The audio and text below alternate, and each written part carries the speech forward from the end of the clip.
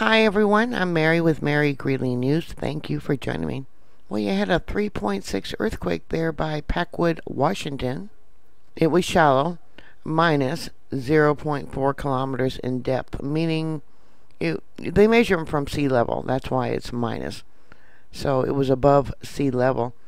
Um, yeah, is that big one going to come like they're predicting, or some people are predicting? I recently covered about the earthquakes the fault zone there in Seattle. I find it hard to believe that only one person reported feeling this earthquake. That wasn't far from Mount Rainier, where they reported feeling it. Uh, what is that? Rough Lake.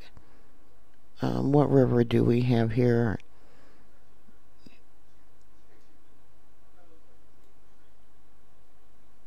Clear Fork, Cowlitz River.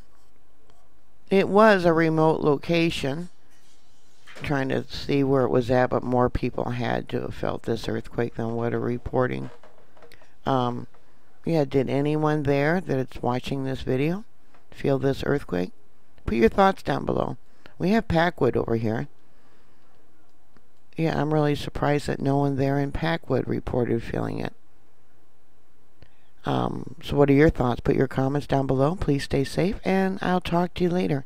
God bless y'all. Bye.